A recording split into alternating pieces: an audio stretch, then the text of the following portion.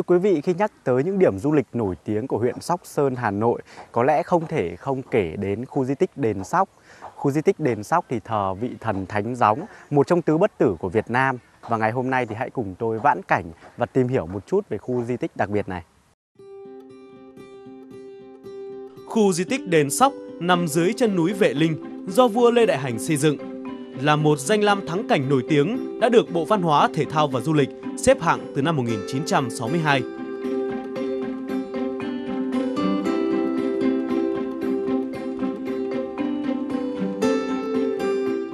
Khu đền thờ Thánh Gióng được xây dựng từ hơn nghìn năm trước với nhiều công trình lớn như đền Hạ, đền Mẫu, đền Thượng, nhà bia và văn bia, chùa Đại Bi, khu vực hành lễ và tiếp khách.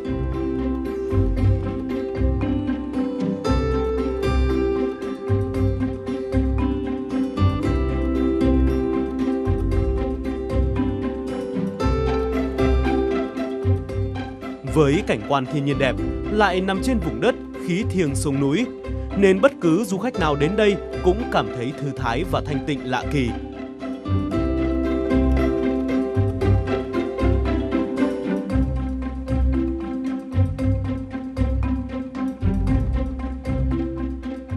Hành trình khám phá di tích đền Sóc của tôi bắt đầu từ đền Hạ hay còn gọi là đền Trình.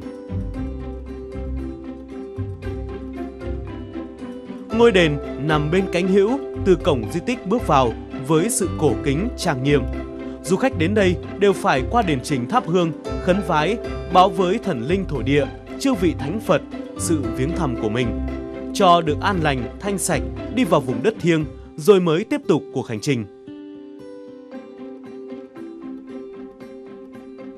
Nổi bật bên trong đền trình tại di tích đền Sóc là thờ một tượng sơn bằng đồng nặng 7 tấn trong thế ngồi.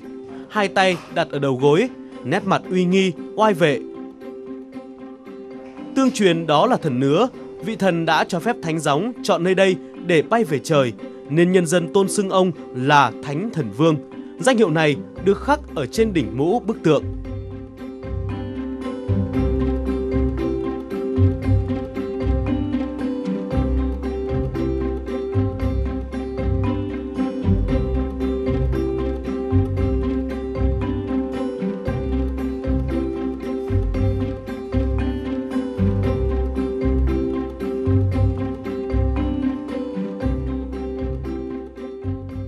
Qua đền Hạ, du khách đến thăm đền Mẫu, nơi thờ mẹ Thánh Gióng nằm bên phía cánh tả.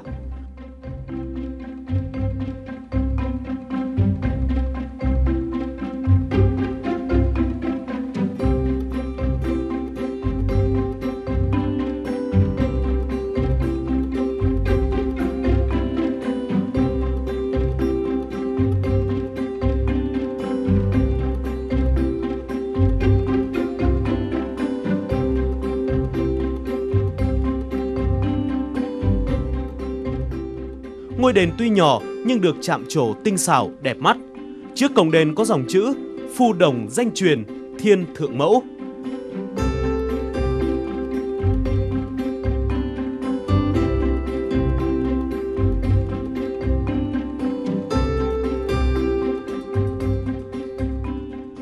Trong đền, tượng mẫu với nét mặt hiền từ, khoan dung được sơn son thép vàng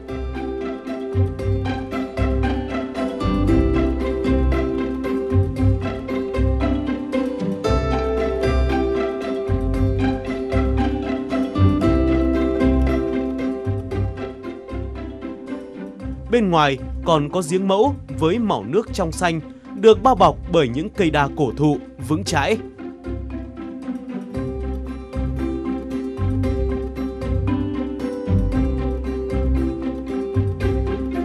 Đền Sóc thì ờ, có từ thời ờ, thế kỷ thứ 10, thời ờ, Tiền Lê năm 980, được xây dựng dưới triều đại của vua Lê Đại Hành, tức là Tiền Lê.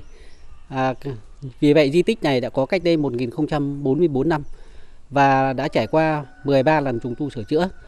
À, đền Sóc hiện nay đang thờ Đức Thánh à, Phù Đổng Thiên Vương, một trong tứ bất tử của dân tộc Việt Nam và ngài hình tượng cho sức mạnh, tinh thần đánh giặc ngoại xâm của cả dân tộc Việt Nam chúng ta. À, trong khu di tích hiện nay thì à, được à, còn đang bảo tồn được 8 nơi thờ chính. À, các hạng mục thờ hiện nay một là đền hạ hay còn gọi là đền trình thờ thần linh núi sóc tức là vị thần cai quản khu vực này và vị thần này đã được phong vương hiệu của ngài là thánh thần vương. Nơi thờ thứ hai là đền mẫu, tức là mẹ thân thân sinh thánh gióng mẫu thân. Nơi thờ thứ ba là ngôi chùa đại bi, chùa thì thờ tam bảo, tức là thờ các chư phật. Ngôi chùa có một cái điều đặc biệt là không bao giờ có sư trụ trì. Và nơi thờ thứ tư là nơi tụ khí linh thiêng nhất trong di tích, đó là ngôi đền thượng, thờ à, phù đồng thiên vương, tức là nhân vật chính được thờ tại khu di tích này. Nơi thờ thứ năm là lăng bia đá tám mặt, nơi ghi lại toàn bộ cái tích hội Hiền sóc sơn nơi thờ thứ sáu là chùa lon hiện nay đang thờ bức tượng ờ, ờ, phật a di đà có trọng lượng là 30 tấn đồng và nơi thờ thứ bảy là trên lưng chừng núi sóc này thì có một nơi gọi là hoàng giáp hoàng giáp có nghĩa là tượng trưng cho áo giáp của ngài để lại trước khi ngài bay về trời và điểm dừng chân cuối cùng trong quãng hành trình gian nan của Thánh Gióng cũng là nơi thờ thứ 8, đó là trên đỉnh núi Đá Chồng. Thì ở đó có công trình tượng đài Thánh Gióng. Và đây là công trình của thủ đô Hà Nội, một trong những công trình của thành phố xây dựng để kỷ niệm 1.000 năm Thăng Long. Đền thượng thờ Đức Thánh Gióng gồm nhà đại bái và hậu cung. Nhà đại bái được trang trí đẹp, bày biện đổ tế lễ, nhiều câu đối, lọng vàng, lọng tía và đôi hạc chân có đường nét hòa văn tinh xảo. Hậu cung thờ Thánh Gióng là một bức tượng khá lớn bằng gỗ trầm hương, khoác áo bào đỏ, khuôn mặt phương phi, quả cảm. Bên cạnh còn có 6 vị thần đã có công giúp ông đánh thắng giặc, gìn giữ đất nước.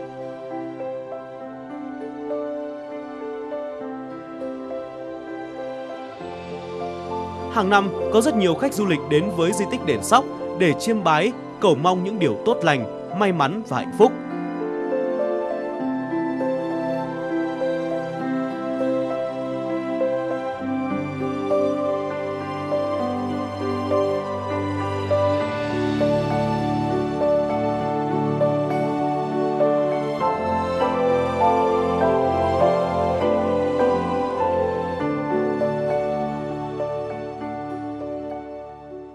Đền Sóc là di tích quốc gia đặc biệt. Vì vậy công tác trùng tu bảo tồn thì được thực hiện à, chặt chẽ theo quy định của Bộ Văn hóa, à, Thể thao và Du lịch. À, trong những năm qua thì Trung tâm Quản lý Khu di tích đã làm tốt công tác trùng tu bảo tồn di tích, đặc biệt là phát huy giá trị di sản văn hóa của di tích. thường xuyên kiểm tra các hạng mục khi phát hiện có những cái hạng mục là có dấu hiệu bị xuống cấp thì kịp thời sửa chữa để vì vậy di tích luôn được đảm bảo.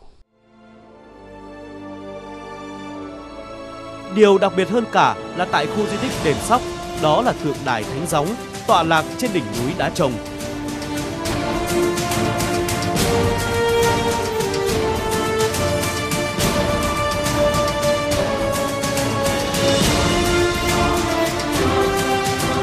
Tượng đài được đúc bằng đồng nguyên chất có chiều cao tới đỉnh là 11,07 m với độ vươn ra là 16 mét. Trọng lượng 85 tấn, mô phỏng hình ảnh vị thánh trẻ tuổi tay mang che ngà, thuốc ngựa hướng về trời xanh.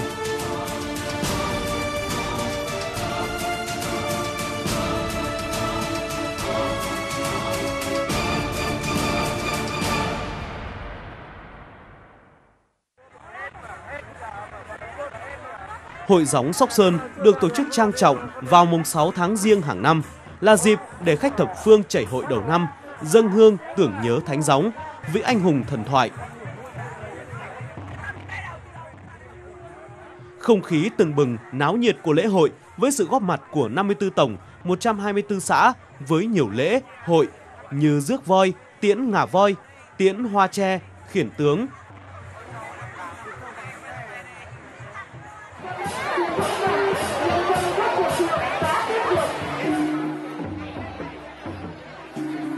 du khách đi dự lễ hội trở về thế nào cũng phải có trong tay những túm hoa tre nhuộm phẩm xanh, phẩm đỏ để lấy phước cầu may cho mình trong năm mới.